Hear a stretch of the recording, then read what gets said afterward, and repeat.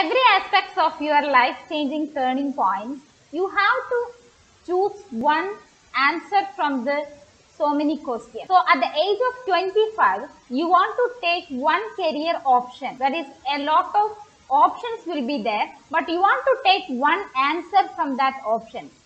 So what will be your choice? That is based on according to your intentions and your inner voice will say that is you want to do this work. You will be shine in this field of work or otherwise you will choose one profession according to the influence of the people around you. Don't lie yourself. Why I am saying that don't lie yourself that means you want to hear the actual voice of your heart.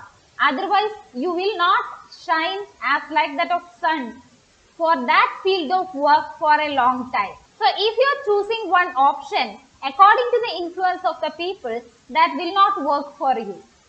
That will not give you the happiness and that will not give you the freeness, peacefulness to you for a long time. And you will not be happy by doing that work.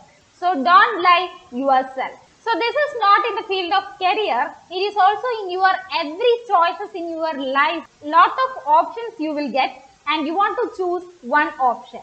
So every time you choose one option that should be according to your inner voice will say this is good for you. This will work for you. This is you are interested to do in your life. That you should choose. Otherwise that will not be good for you.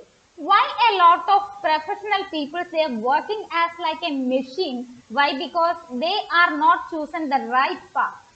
They are not happy with their job. They are not happy with their life is going on. So choose your own intentions will say and not choose for the influence of other people. Thank you.